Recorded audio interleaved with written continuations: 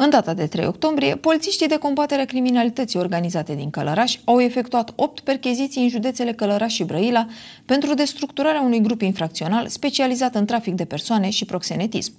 Din cercetări a reieșit că cei în cauză ar fi recrutat tinere victime prin folosirea metodei Loverboy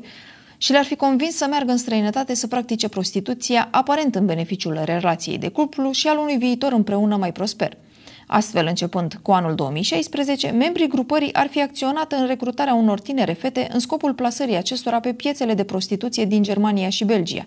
În urma perchezițiilor au fost ridicate telefoane mobile, cartele telefonice, înscrisuri, acte de proprietate, sume de bani și bijuterii din aur.